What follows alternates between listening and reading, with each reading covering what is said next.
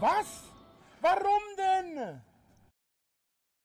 Ja, hallo und einen wunderschönen guten Abend, meine lieben Kasper und Kasperinnen. Hier ist wieder euer Schlafanzugpulli. Wir machen weiter mit unserer hoffentlich langweiligen Serie Neischlafner mit Bumsti. Ja, es soll langweilig sein, denn man soll dabei ja wunderschön einschlafen und da kann man Spannung nicht besonders brauchen. Nach der Pilzgeschichte gestern, die auch für mich äh, ziemlich einschläfernd war, obwohl wir keine Pilze gegessen haben, wir haben nur Pilznamen gehört, äh, bin ich zwischenzeitlich fast vom Stuhl gekippt. Dachte ich mir, wir machen mal was, was ich selbst schon längere Zeit gerne mal machen wollte, nämlich so eine Art Hörbuch. Ich persönlich höre gern zum Einschlafen Sherlock Holmes, am liebsten gelesen von Detlef Bierstedt. Der macht das meiner Meinung nach richtig schön. Und da gibt es ganz tolle Kanäle auf YouTube. Da haben sie Hörbücher von Helmut Bierstedt, die hört man sich dann an beim Einschlafen. Und wenn es fertig ist, haben sie dann hinten dran geschnitten, erstmal 10 Minuten Bollywood-Musik auf volle Lautstärken, dann nochmal die erste Viertelstunde des Hörbuchs.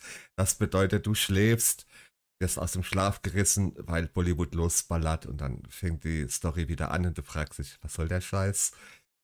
So ähnlich machen wir es auch, nur ohne Bollywood-Musik und äh, ohne Laut und überhaupt. Aber bevor wir anfangen, erstmal Kultur, denn Kultur gehört dazu. Achtung, ich fange vorne an. Wieder ein klassisches deutsches Lied, das die Älteren von uns bestimmt noch kennen. Ein kürzeres Lied, aber umso schöner. Wir legen eine Falle, das wird das Beste sein, denn dieser kleine Kalle fällt ganz bestimmt hinein. Und ist er drin, dann lassen wir ihn niemals wieder raus. Der Kalle hockt in der Falle wie eine arme Maus. Ergreifend, oder? Also ich bin da jedes Mal wieder ergriffen. Es ist einfach fantastisch. Und ja, damit würde ich sagen, beginnen wir mit einem maximal langweiligen Let's Play, natürlich ohne, ohne Strom, nein, nicht äh, mit Strom schon, aber ohne Ton, denn wir wollen ja nicht gestört werden. Und während das Let's Play so vor sich hin dümpelt, versau ich euch den Arthur Conan Doyle, indem ich euch was von ihm vorlese und äh, eventuell mal vom Thema abweiche. Aber ich hoffe, dass ich es wirklich schaffe, beim Thema zu bleiben. Das ist eigentlich mein Plan. So, jetzt kommt es. Äh, habt ihr eure Kissen aufgeflufft? Das ist wichtig. Ihr wisst ja, die Mammuts, ne? Kissen auffluffen, Kuscheldecke bereit, Kuscheltier auch. Hände bitte auf die Decke, danke. Und der Stream geht los. Wie schön.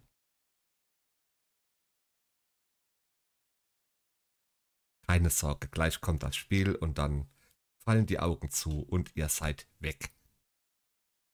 Und ich fange jetzt einfach hier schon mal an. Sir Arthur Conan Doyle. Das getupfte Band und andere Detektivgeschichten. Die Haushälterin hatte eben den Nachmittagstee hereingebracht. Nun zog sie die Vorhänge vor den Fenstern zu und zündete die Stehlampe an, die ein warmes Licht über den gedeckten Tisch warf. Das Feuer im Kamin verbreitete eine angenehme Wärme. Dr. Watson saß in einem bequemen Sessel und las, als sich die Türe öffnete und Sherlock Holmes eintrat. Das ist heute wieder mal ein Nebel, sagte er und rieb sich die Hände vor dem Feuer warm. Ein scheußliches Wetter draußen. Keinen Hund möchte man da hinausjagen. Dann wandte er sich dem Hausgenossen zu. Lieber Watson, geh doch mal zum Bäcker und hol ein paar Brötchen. Was? Nein, Quatsch. Äh, er fragt natürlich, was liest du denn da so interessiert, Doktor? Watson legte rasch, fast in leichter Verlegenheit, die Blätter beiseite. Es waren eine Anzahl fortlaufender Nummern des Playboy. Telegraph, des, des, des Telegraph. Ach, nichts weiter, sagte er in offensichtlichem Bemühen, der Sache keine weitere Bedeutung zuzuschreiben. Komm, setz dich lieber her und trinke gleich einen heißen Tee, wenn du so ausgefroren bist.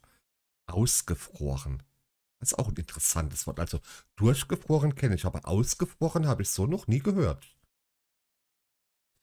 Damit füllte er ihm eine Tasse, rückte einen Sessel zurecht und bot ihm einen Teller mit belegten Broten an. Es waren genau zwei belegte Brote, eins mit Schinken, eins mit Ei. Kaum hatte Holmes sich gesetzt, so klingelte es.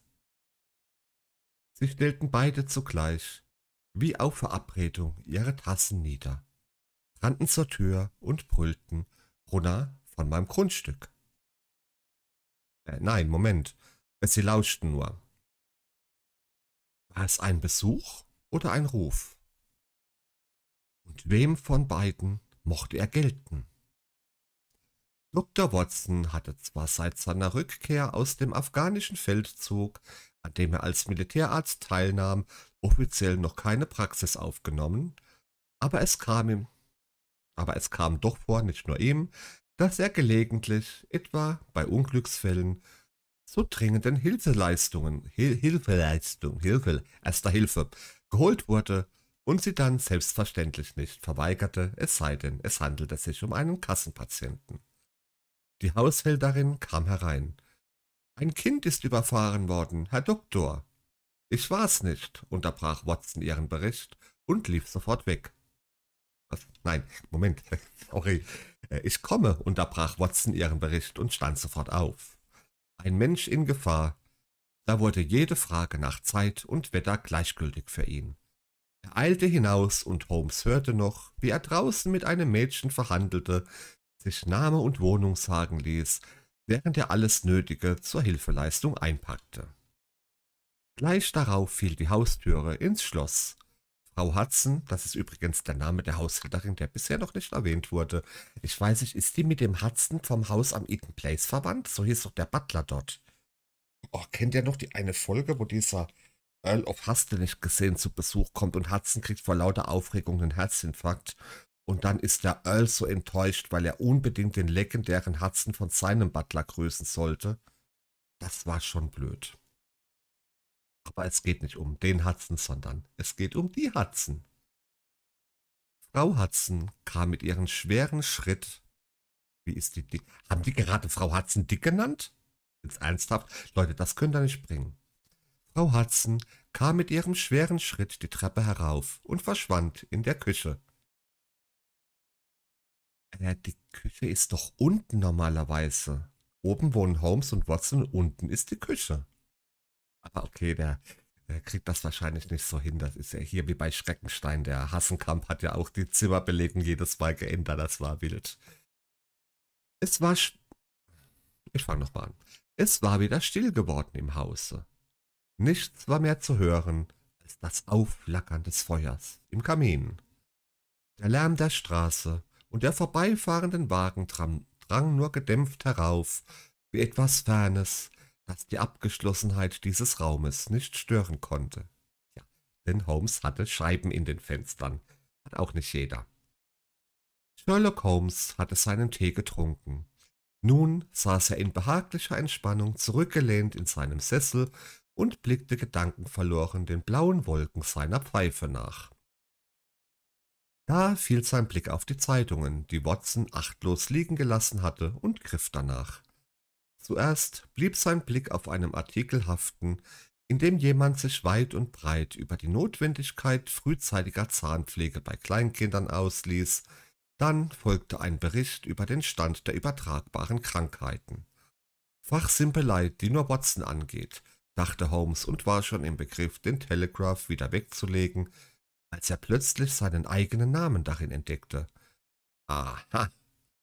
Watson scheint mal wieder unter die Schriftsteller gegangen zu sein, murmelte Holmes vor sich hin. Er überflog einige Spalten. Spalten? Geht's da um Gynäkologie? Äh, so, nein, äh, Zeitungsspalten. Lächelte, legte die Pfeife aus der Hand, setzte sich bequem zurecht, suchte den Anfang und las. Das getupfte Band. Jetzt geht's eigentlich erst los. Das vorher war nur Geplänkel. Moment, ich trinke mal schnell den Schluck. Vielleicht hört ihr das sogar. Nein, war zumindest kein Ausschlag auf dem Mikro. Also fangen wir jetzt endlich an mit der Story. Wir haben nämlich nicht mehr viel Zeit. Das Video ist ja bald zu Ende. Das getupfte Band. Wenn ich meine Aufzeichnungen von den vielen absonderlichen Fällen überblicke, an denen ich während der letzten Jahre das Verfahren meines Freundes Sherlock Holmes studiert habe, so finde ich darunter manche von tragischer, einige von komischer Art. Sorry, war mein Fehler.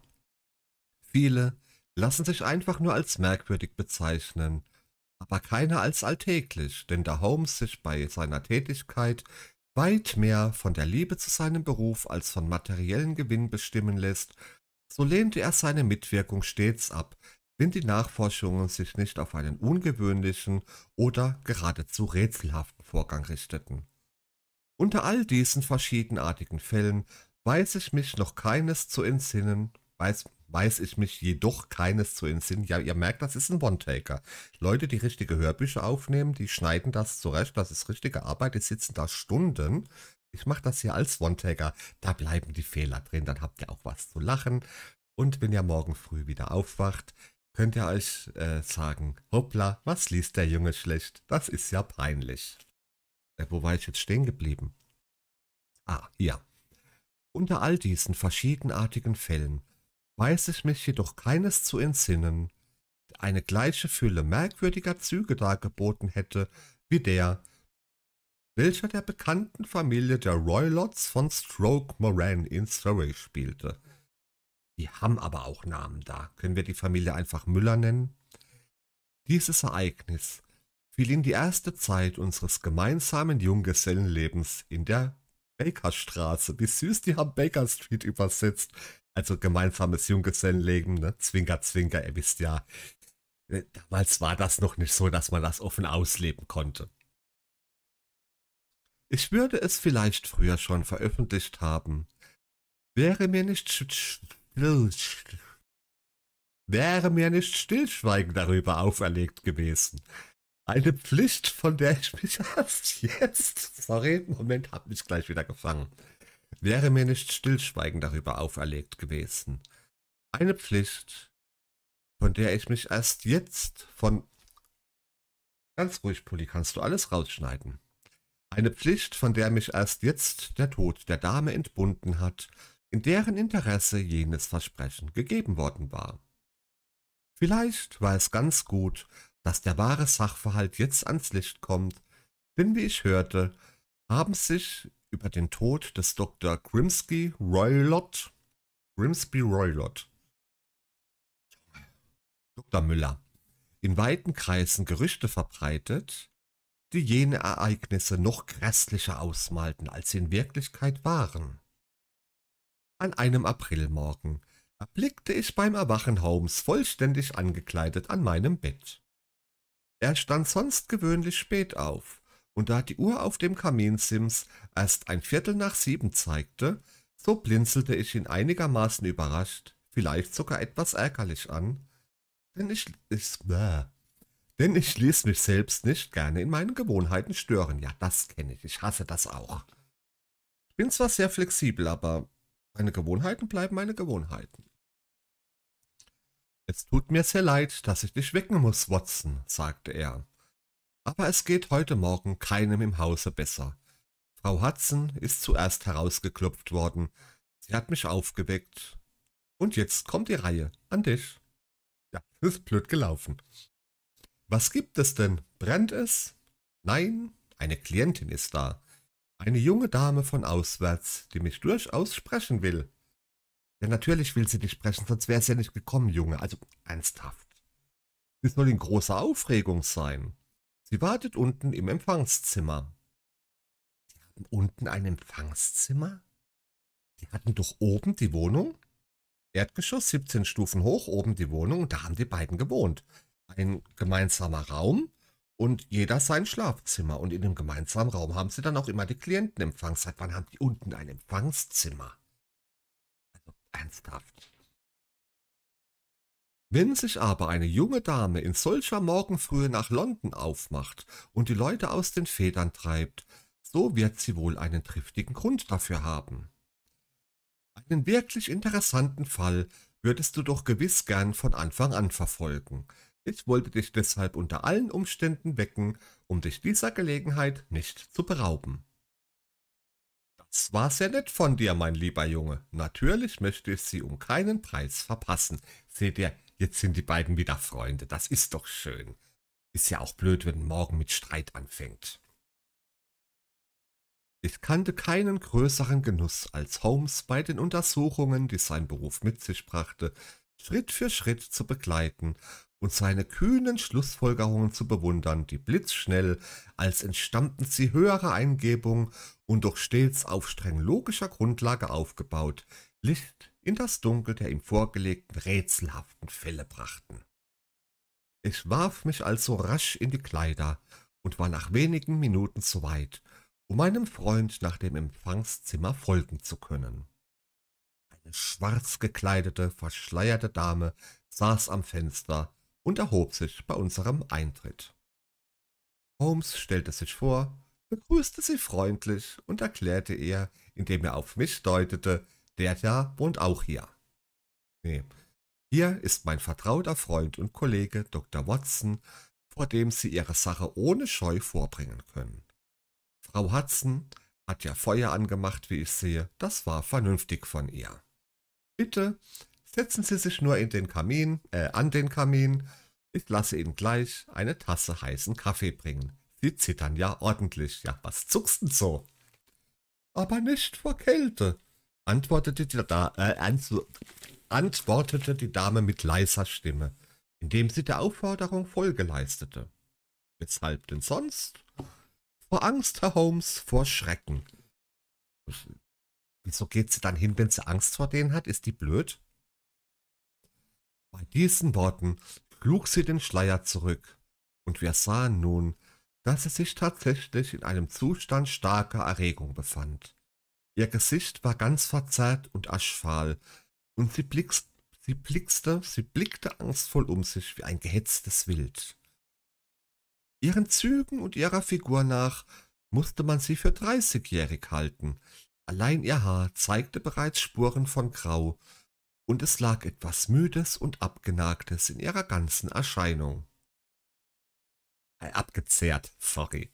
Ja, manchmal lese ich irgendwie falsche Worte. Ich warte nur noch drauf, bis der erste Klingelständer aufkreuzt. Dann taucht, ja, ne, dann kreist ja aber der Igel aber sowas von.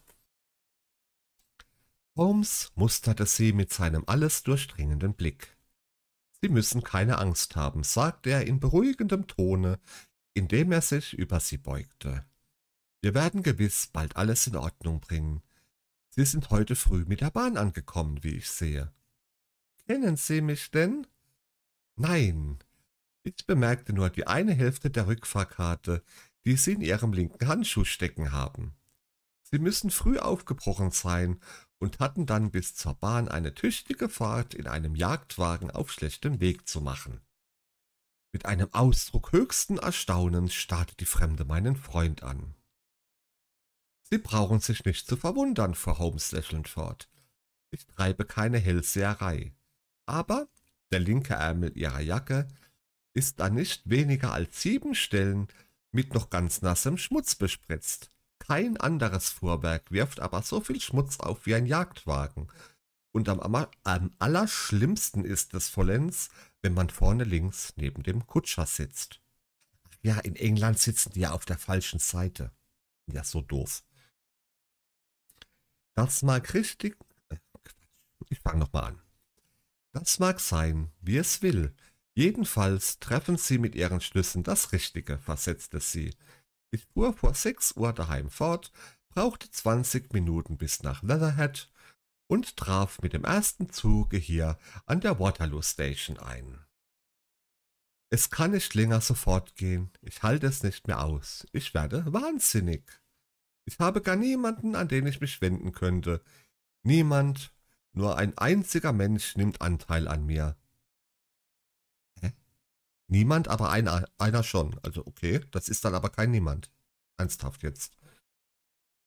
Aber helfen kann er mir auch nicht. Ach so, okay.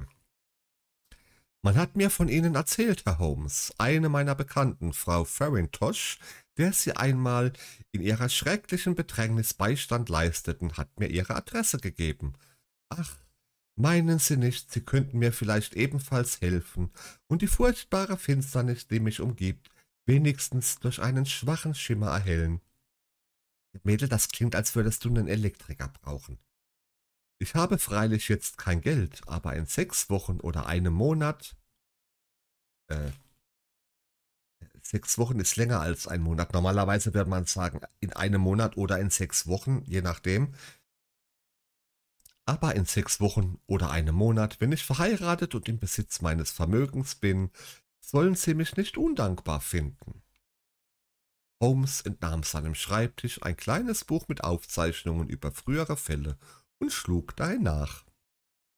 Farintosh, murmelte er. Ah ja, jetzt erinnere ich mich des Falles. Es handelte sich um einen Opalkopfschmuck. Klingt aber unbequem. Opal ist doch hart. Ich trage ja lieber weiche Mützen oder Hüte. Aber Opal? Kannst ja auch Beton auf den Kopf setzen. Das war noch vor deiner Zeit, Watson. Ich kann Ihnen die Versicherung geben, dass ich mich Ihres Falles mit demselben Interesse annehmen werde, wie damals der Angelegenheit von Frau Farintosh. Über die Geldfrage möchte ich Sie beruhigen. Meine Belohnung finde ich einzig in meiner Tätigkeit selbst. Ja, so geht's mir auch. Doch es steht Ihnen frei, mir meine etwaigen Auslagen bei gelegener Zeit zu ersetzen. Und nun bitte ich Sie, uns alles mitzuteilen, was für die Beurteilung des Falles dringend von Wert sein kann. Er konnte aber trotzdem weiter schlafen. Ach, begann die Fremde, das Schreckliche an meiner Lage ist gerade, dass meine Befürchtungen so unbestimmter Natur sind und mein Verdacht sich nur auf geringfügige Umstände stützt, die jedem anderen bedeutungslos erscheinen. Selbst mein Verlobter betrachtet alle meine Vermutungen nur als Eingebungen meiner überreizten Nerven. Er sagt es nicht gerade hinaus, heraus, er sagt es nicht gerade heraus. Ich fange nochmal. Ich trinke erst mal einen Schluck, dann fange ich den Satz nochmal an. Wollt ihr auch einen Schluck? Müsst ihr euch aber selbst holen. Ich habe nur ein, ein Glas hier. Wenn wir alle aus einem Glas trinken, das wäre unhygienisch. Er sagt es nicht gerade heraus. Allein ich merke es an seinen beschwichtigenden, Antwort, beschwichtigenden Antworten und ausweichenden Blicken und an seinem lachenden Tippen an die Schläfe. Aber Sie, Herr Holmes, sollen ja imstande sein, wie nur wenige, das menschliche Herz zu durchbohren, äh, zu durchschauen. Ihr Rat wird mir gewiss einen Weg durch all die Gefahren zeigen, von denen ich jetzt umgeben bin. Fragen, fragend mit D wie Detlef, hob sie den Blick zu Holmes. Bitte, fahren Sie ruhig fort, ermunterte er sie. Wieso soll die fortfahren? Ist doch gerade erst gekommen.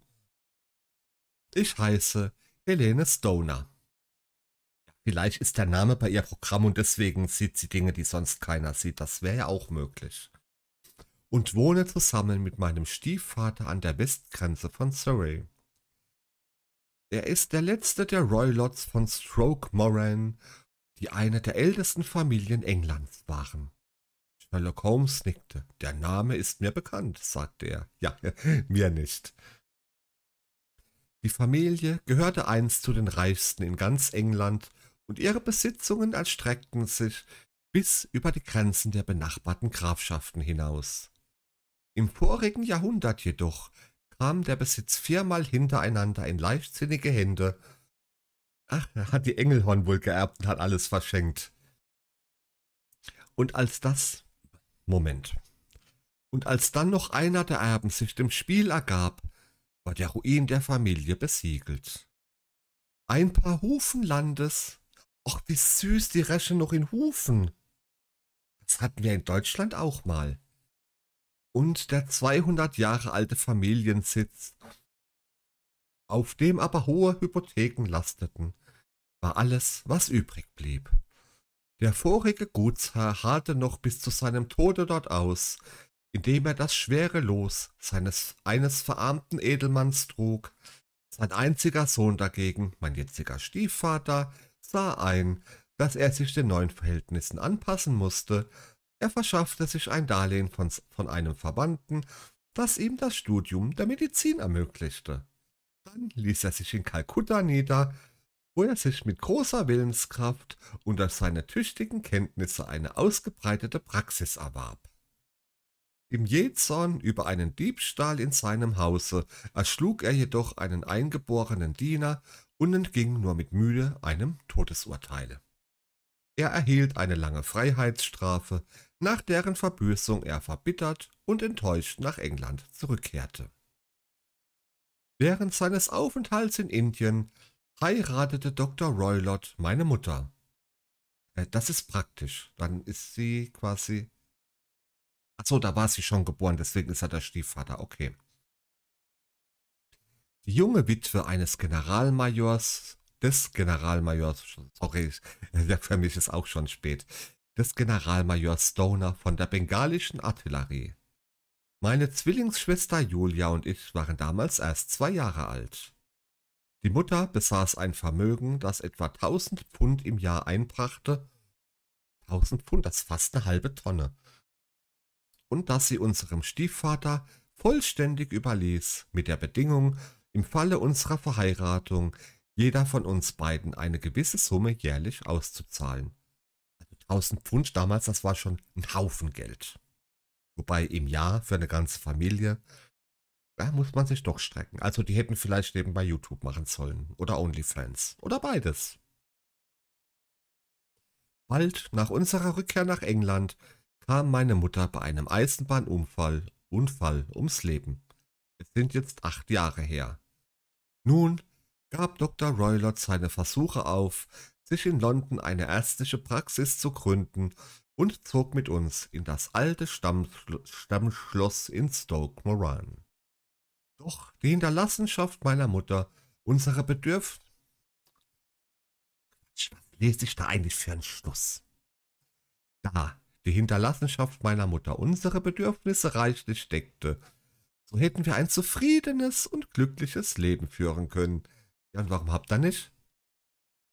Verstehe ich jetzt nicht. Ah, es geht doch weiter, der Text. Deswegen, jetzt kommt des Rätsels Lösung. Passt mal auf oder schlaft weiter, je nachdem. Also, wenn ihr schlaft, ihr könnt ruhig weiter schlafen. Ist gar kein Ding.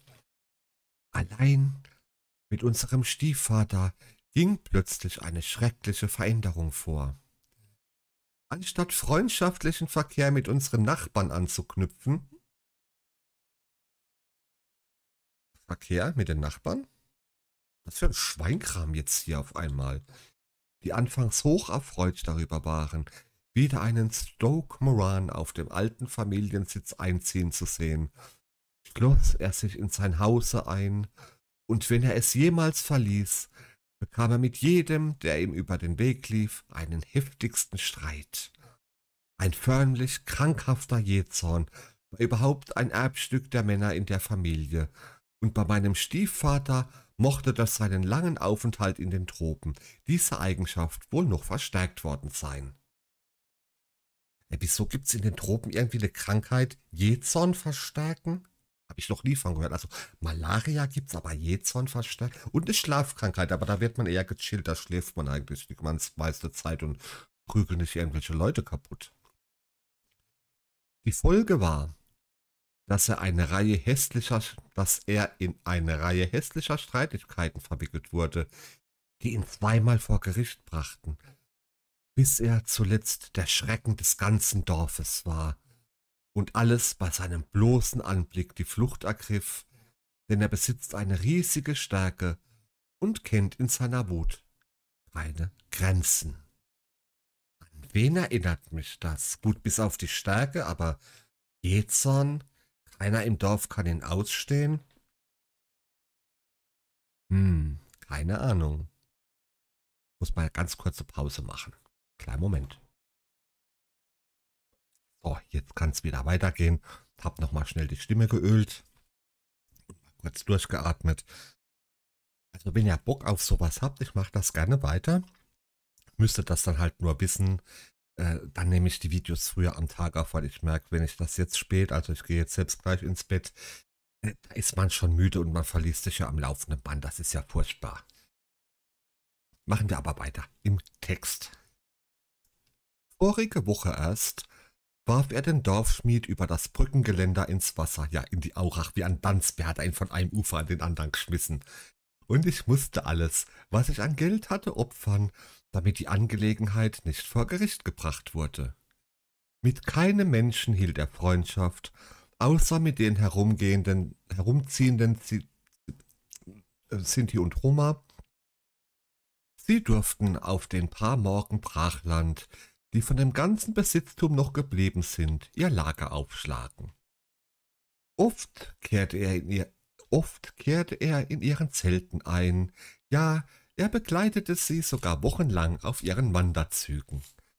Eine leidenschaftliche Vorliebe, Vorliebe hat er für indische Tiere, die er sich aus Kalkutta kommen lässt. Gegenwärtig besitzt er einen Leoparden und einen Pavian, die er in seinem Anle Anwesen frei herumlaufen lässt und die den Dorfbewohnern denselben Schrecken einjagen, wie ihr Herr selbst. Ja, sein Nachbar hat übrigens einen Löwen im Vorgarten.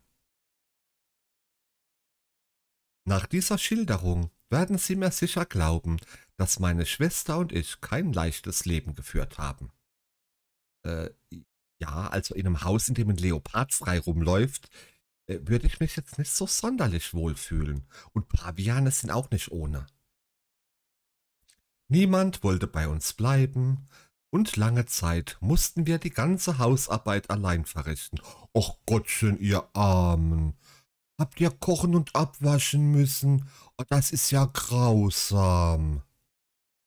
Obgleich Julia erst dreißig Jahre alt war, als sie starb, hatte sie doch bereits graue Haare, wie ich auch. Ihre Schwester ist also gestorben? Äh, ja, das hat sie gerade gesagt. Du Trottel, hör ihr halt einfach mal zu. Und wieso kriegen die mit 30 schon graue Haare, wenn sie ganz normale Hausarbeit machen? Ich meine, Millionen Menschen gehen jeden Tag arbeiten.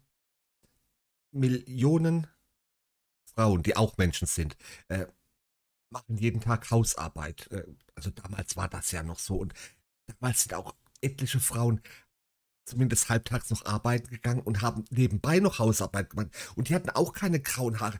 Was sind das für Weicheier, sag mal? Also ernsthaft. Ja, es ist gerade zwei Jahre her, und von ihrem Tode möchte ich Ihnen eben genaueres mitteilen. Oh, vertragt er so was Gruseliges jetzt so kurz vorm Einschlafen? Ach, ihr könnt euch einfach äh, die Ohren zuhalten. Ich sag euch dann, wenn's vorbei ist. Sie werden es verstehen, dass wir unter diesen Umständen wenig Gelegenheit zum Verkehr mit unseresgleichen hatten. Verkehr mit unseresgleichen. Das kann man jetzt aber auch anders verstehen. Nur bei unserer Tante Honoria Westphale durften wir von Zeit zu Zeit einen kurzen Besuch machen. Sie ist eine unverheiratete Schwester meiner Mutter und wohnt in der Nähe von Harrow. Vor zwei Jahren lernte Julia bei einem solchen Besuch über Weihnachten einen auf halb Sold gesetzten Major der Marine kennen, mit dem sie sich verlobte. Unser Stiefvater erhob gegen die Verbindung keine Einwendung, allein vierzehn Tage vor der Hochzeit trat das schreckliche Ereignis ein, das mich meiner einzigen Gefährtin beraubte. Also meine Vermutung wäre jetzt, der Vater, also der Stiefvater, versucht, die Ehe der Töchter zu verhindern, weil sie dann ja Barne bekämen. Und dann hat er weniger Barne. Wäre so meine Vermutung. Holmes, der mit geschlossenen Augen in seinem Armstuhl zurückgelehnt, den Kopf im Kissen vergraben zugehört hatte, schlug nun die Lider ein wenig auf und warf einen Blick auf die Erzählerin. Bitte vergessen Sie nicht. Nochmal. Bitte vergessen Sie auch nicht den kleinsten Umstand, sagte er. Das wird mir nicht schwerfallen, denn alle Vorgänge dieser entsetzlichen Zeit stehen mir unauslöschlich im Gedächtnis. Das Wohnhaus ist, wie gesagt, sehr alt, auch wird zurzeit nur der eine Flügel bewohnt. Die Schlafzimmer befinden sich im Erdgeschoss, während die Wohnzimmer im mittleren Stockwerk liegen. Von den Schlafzimmern hatte das erste unser Stiefvater, das zweite meine Schwester und das dritte ich selbst. Eine Verbindung zwischen ihnen besteht nicht, dagegen führen alle drei Türen auf denselben Gang. Ich spreche doch verständlich? Vollkommen. Die Fenster der drei Zimmer gehen auf den Rasenplatz vor dem Hause. An jenem schrecklichen Abend also zog sich unser Stiefvater zeitig in sein Schlafzimmer zurück, trotzdem wussten wir wohl, dass er sich noch nicht zur Ruhe begeben hatte, denn meine Schwester wurde durch den Geruch der starken indischen Zigarre belästigt, die er zu rauchen pflegte. Ja, Zigarre, äh? wir wissen ja alle, welches Kraut die da geraucht haben, also es war bestimmt normaler Tabak, ja, ja, ja, ja, doch, doch. Sie kam deshalb in mein Zimmer herüber, um noch eine Zeit lang mit mir über ihre bevorstehende Hochzeit zu plaudern. Es war elf Uhr, als sie mich wieder verließ, an der Türe blieb sie jedoch stehen und schaute noch einmal zurück. Sag mir, Helene, fragte sie, hast du jemals ein Pfeifen vernommen, wenn nachts alles totenstill ist? Nein, niemals, ich auch nicht, ihr? Ja, vor allem, weil sobald es pfeift, ist es ja nicht mehr totenstill. Das ist schon wieder ein Widerspruch. Also, der Conan Doyle, der hat ja eigentlich gar keinen Bock mehr gehabt auf Holmes. Der hat ja unfassbar viel Kohle damit gemacht, weil er keinen Bock mehr auf Holmes hatte. Und er hat sich gedacht, ich verlange einfach unverschämt viel Geld. Dann sagt der Verleger, Junge, du spinnst und lässt ihn in Ruhe. Was hat der Verleger gemacht? Hat gesagt, du willst mehr Geld? Da hast du und jetzt schreib. ja, so kann es auch manchmal gehen. Ich glaube, das war schon, als er keinen Bock mehr hatte. Also pfeifen, während es still ist, wie soll das gehen? Die hör mal auf. Also ernsthaft. So albern. Ich habe auch schon gedacht, vielleicht seist du es, die nachts im Schlafe pfeift. Kennt ihr jemanden, der nachts im Schlaf pfeift? Also meine Freundin ausdenken, äh, die hat mal im Schlaf gesungen. Einmal hat sie mir eins auf den Kopf gehauen und mich dann gefragt, ob ich wogegen gelaufen bin, aber gepfiffen hat sie noch nie. Aber du glaubst doch auch nicht, dass das sein kann. Gewiss nicht. Warum denn? In den letzten Nächten ertönte etwa um drei Uhr morgens ein leiser, heller Pfiff. Ich habe einen leichten Schlaf und bin daran aufgewacht. Woher der Laut kam, kann ich nicht sagen, vielleicht aus dem Nebenzimmer, vielleicht auch vom Vorplatz herauf. Ich dachte, ich wollte dich doch fragen, ob du es auch gehört hast. Also wenn du jede Nacht, etwa um drei Uhr, einen Pfiff hörst, dann bleib halt einmal auf und hör genau hin, wo er herkommt. Kann ja so schwer nicht sein. Nein, ich habe nichts gehört. Das muss von dem da steht jetzt ein ganz schlimmes Wort. Mit Gesindel und so. Unten im Park herkommen. Höchstwahrscheinlich, aber es wundert mich doch, dass du es nicht auch gehört hast, wenn es wirklich von unten kam. Ich schlafe eben fester als du. Nun, es ist jedenfalls nichts von Bedeutung, versetzte sie lächelnd, damit schloss sie die Tür, und wenige Augenblicke darauf hörte ich, bis sie ihre Türe abschloss. Schlossen Sie, schlossen Sie sich denn nachts regelmäßig ein? fragte Holmes. Stets. Und warum taten Sie das? Ich glaube, ich habe bereits erwähnt, dass unser Stiefvater eine Tigerkatze und einen Pavian hielt. Wir fühlten uns deshalb nicht sicher, wenn unsere Türen nicht verschlossen waren. Äh, ja, das kann ich verstehen. Also, ich will auch nicht mitten in der Nacht aufwachen, weil ein Pavian gerade auf mir sitzt oder irgendein ein Leopard war es, glaube ich. Hätte ich so gar keinen Bock drauf. Ja, freilich. Bitte, fahren Sie nur fort. Ich konnte in jener Nacht keinen Schlaf finden. Ja, hätte mal eins von meinen Einschlafvideos gehört, aber nee, hat wahrscheinlich noch kein Internet damals. Ein unbestimmtes Vorgefühl drohenden Unheils bedrückte mich.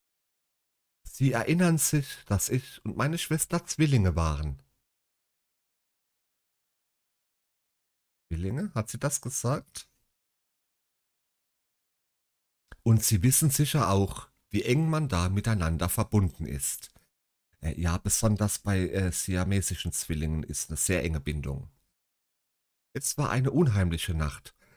Draußen heulte der Wind, drinnen heulte ich, äh, nein, Quatsch, äh, und der Regen schlug klatschend gegen die Läden.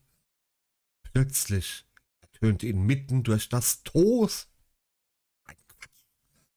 Plötzlich ertönte mitten durch das Tosen des Sturmes ein wilder Angstschrei. Ich erkannte die Stimme meiner Schwester. Rasch sprang ich aus dem Bett und stürzte auf den Gang hinaus. Während ich meine Tür öffnete, war es mir, als hörte ich ein leises Pfeifen, wie meine Schwester es beschrieben hatte, und wenige Augenblicke darauf ein klingendes Geräusch, wie vom Fall eines schweren metallenen Gegenstandes. Die Zimmertüre meiner Schwester war schon aufgeklinkt, sie war aufgeklinkt.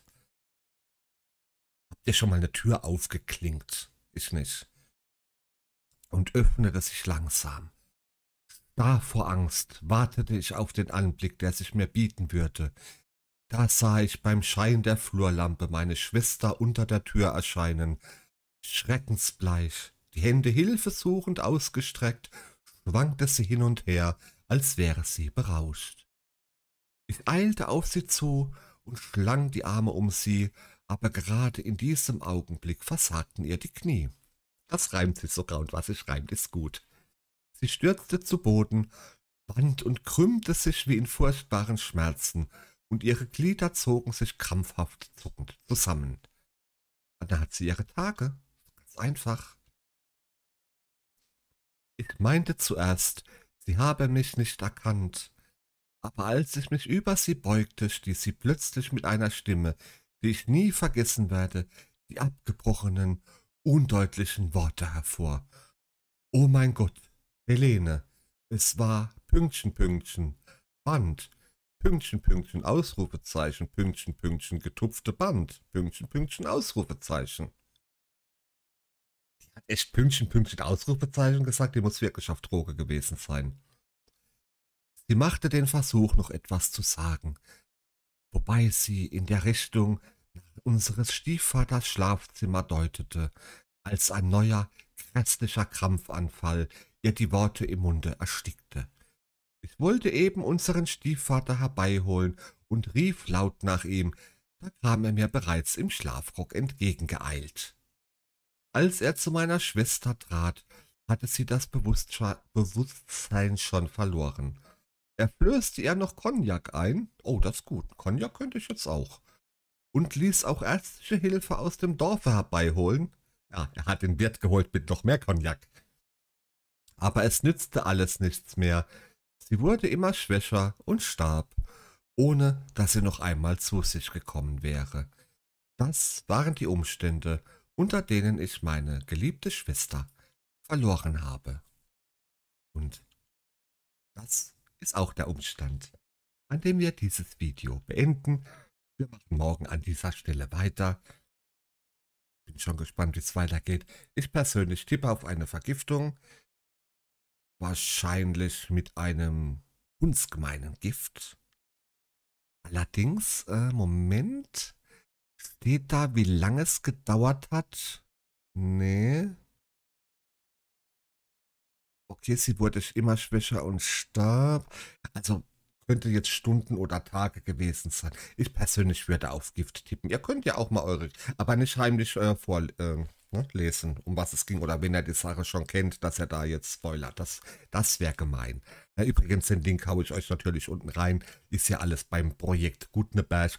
Finde ich sehr schön. Da gibt es ganz, ganz viele Sachen, wo das Urheberrecht erloschen ist. Deswegen kann ich mich ja ganz schamlos bedienen. Ja, dann äh, schlaft schön weiter. Wir hören uns eventuell morgen wieder. Guts Nächtle und träumt schön von Pavianen, die euch in der Nacht wachrütteln und Tigerkatzen, die daneben sitzen und vielleicht einem leisen Pfiff, von dem keiner weiß, was er bedeutet. äh, sorry.